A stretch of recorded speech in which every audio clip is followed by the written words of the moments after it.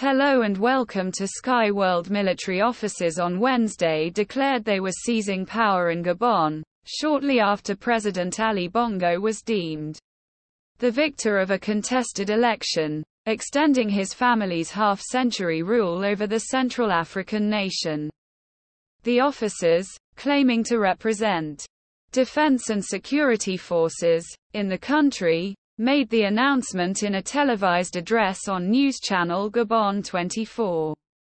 It was viewed by CNN on X, formerly known as Twitter. On behalf of the Gabonese people and guarantor of the protection of institutions, CTRI, the Committee for the Transition and Restoration of Institutions, has decided to defend peace by putting an end to the regime in place, a military officer said on the broadcast.